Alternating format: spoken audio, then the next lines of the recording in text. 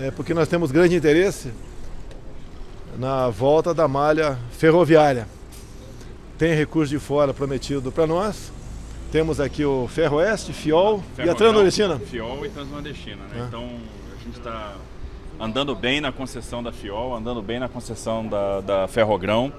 Né, vendo aí as possibilidades de funding externo, acho que são duas possibilidades muito concretas de realização já no ano que vem e discutimos soluções para a Transnordestina. Eu acho que muito em breve nós teremos boas notícias aí para dar para a população dos três estados do Nordeste, para o Piauí, para Pernambuco e para o Ceará, né, de, de uma solução para aquele, para aquele embrólio, para aquela obra. Ministro, o senhor que monitora essa questão dos caminhoneiros, risco de greve, a paralisação vai ser descartada ou ainda está no radar?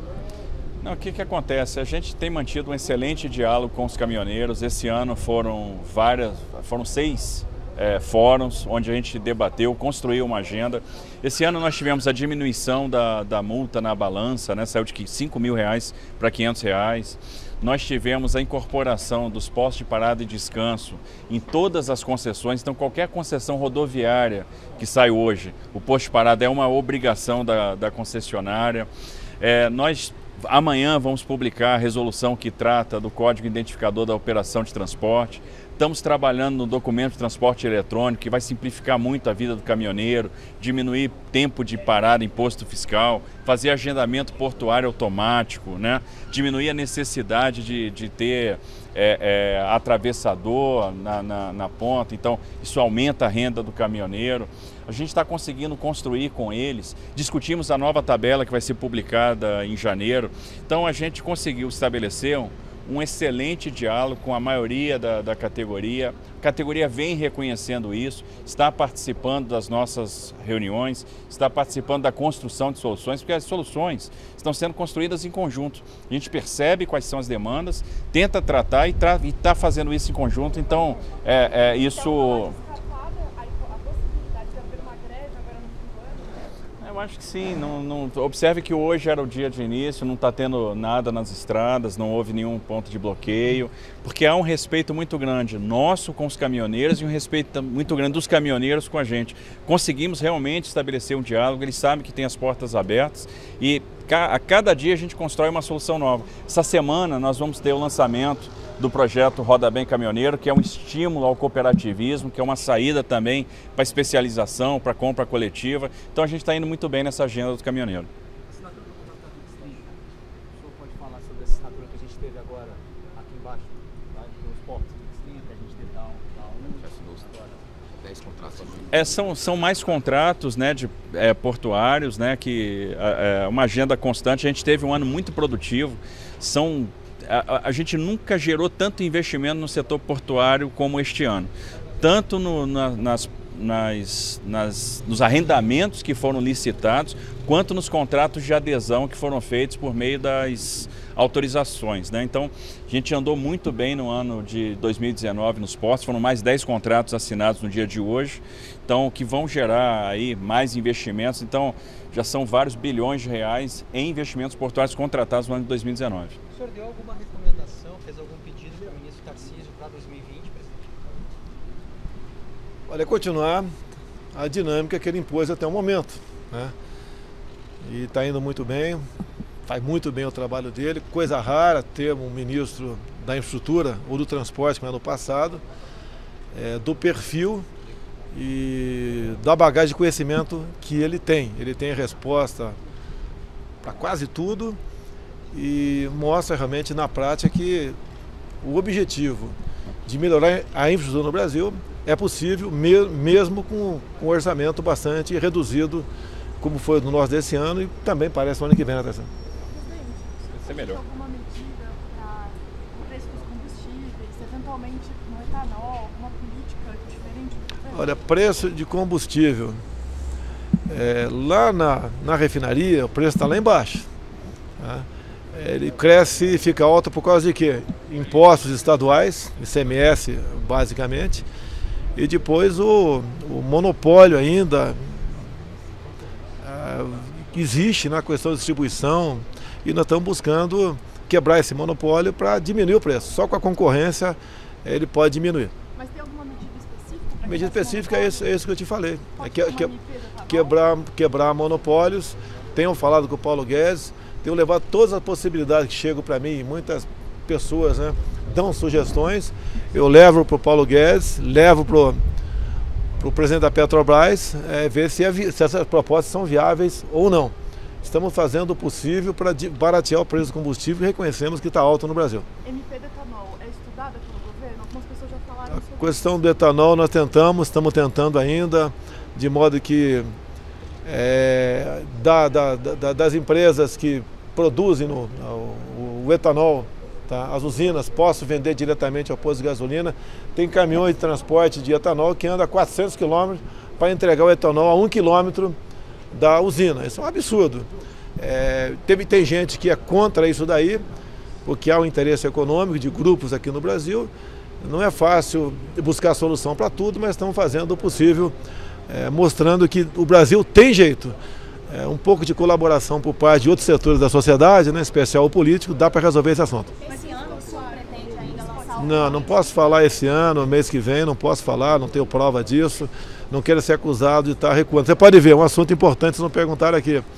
Em comum acordo com o ministro Tarcísio, encaminhamos um projeto de lei ao Congresso que trata, por exemplo, passar de 5 para 10 anos a validade de carteira de motorista. O relator entendeu que é exagero isso daí, né? Porque seria a partir dos 65 de idade para 5 anos a renovação da carteira. O relator entendeu que com 40 anos de idade a pessoa está velha no Brasil, tem que voltar a ter a ser de 5 e 5. Também, queriam, queriam passar pra, de 20 para 40 pontos para se perder a carteira, dado a quantidade de, de radares que tem no Brasil, enfrentamos uma queda de braço com a justiça e o relator também entendeu que certas multas, se for com 20 pontos, né, dado a, a gravidade, tem que perder a carteira. Complicou tudo. E o que é mais grave?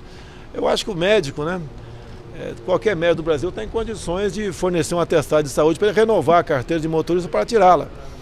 E o relator entendeu o contrário, que tem que ser com clínicas conveniadas pelo Detran. Quer dizer, é difícil você trabalhar num ambiente disso. Lamento o relator é, ter se posicionado dessa maneira. Estamos buscando contato com ele, conversei com ele já uma vez. E no mais, ele acolheu 101 emendas. Quer dizer, ele fez um novo Código Nacional de Trânsito. Não é essa a intenção nossa, é descomplicar.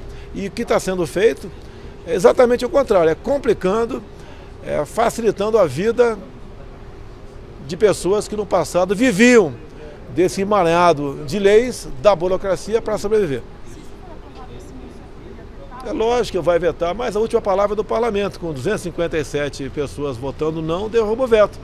Ou seja, a ideia de, de, de, de desburocratizar, desregu, desregulamentar alguma coisa, facilitar a vida de quem produz, que é motorista, vai ser prejudicado com o meu projeto que eu mandei para lá, tendo em vista a ação do relator. O eu tenho conver- enviar ao Congresso? O Paulo Guedes tem falado comigo, eu com ele.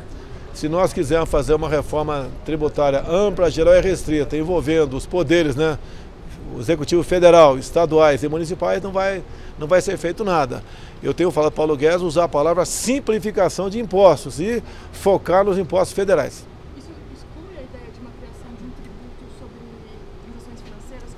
Todas as alternativas estão na mesa, nós não queremos criar nenhum novo tributo, a não ser que seja para extinguir outros. E assim mesmo, colocado junto à sociedade para ver qual a reação da sociedade, se a gente vai levar avante essa proposta ou não. Esse ano ainda, presidente? Não sei, tem que falar com o Paulo Guedes, aí, ele que ele é o dono da máquina nesse sentido. Vai ter pronunciamento de Natal em cadeia de TV? É possível, é possível, mas não é um pronunciamento, se, se acontecer, apenas Feliz Natal e um bom ano novo. É, mostrar realmente que o Brasil mudou. É um presidente que acredita em Deus, que era um palavrão, que era um palavrão aqui no Brasil, é, que respeita o seu povo, tá, que respeita os seus militares. tá? É por aí o pronunciamento, se, se houver durante o. Balanço de um ano vai ter, presidente? É muito longo, eu não posso eh, ocupar as redes, algum reclamam, né? A rede de televisão, eh, por assunto que não esteja definido em lei. Tem alguma previsão de viagem Família para essa semana? Viagem esse, esse ano, mas acho que não tem viagem esse ano não, a não ser uma minha para o Guarujá ou lá a base da Marinha em, em Salvador. Vai passar o Natal e Ano Novo lá? Bolsa Família essa semana? Né? Está de pre, tá previsto, tá previsto anunciar a mudança. sim. Parabéns. Aproveitar o momento, né? Cumprimentar o governo que, que já começou a pagar o 10 terceiro do Bolsa Família. Tá certo? São pessoas que precisam, necessitam, e em grande parte recursos está vindo o combate aí a, a fraudes. Bora? O anúncio essa semana Deve ser. um preço médio. Preço médio? 26? Diesel. Preço médio, preço médio do diesel na refinaria, 2,26. E aí tem impostos estaduais, tem, tem imposto municipal também, é, custo da logística da distribuição, é, tem, o, tem, o, tem o lucro do, do dono do posto de gasolina, combustível. É isso aí. Presidente Bolsa Família muda de nome? Talvez, tem, tem gente que, que mu- que muda. Pra, por, por mim não precisa mudar não, mantém o mesmo nome, sem problema não. Mas tem gente que quer mudar o nome. Mas Vai ser uma MP? fiscal para conseguir Tá. incluir mais pessoas? Não sei, tem que. Não é incluir mais pessoas. É, se incluir mais pessoas, senão o governo está fracassando. Mas não tinha uma proposta. Se incluir mais pessoas, senão o governo está fracassando. Nós medimos a, a- o progresso de um país, né, na questão social, pelo número de pessoas que saem do programa. Isso não é meu, é de gente lá de trás já falou isso aí. Vai ser uma medida provisória? Não sei, pô. Que for melhor. Mas o senhor cogita é, incluir a primeira infância no Bolsa Família? Tinha Ah, não, não, não vou entrar em de- particularidade. Tem que ver com os Terra isso aí. Ele pode dar uma resposta melhor para você. Valeu, pessoal. Obrigado aí. Obrigado, presidente. Capitão. Obrigado.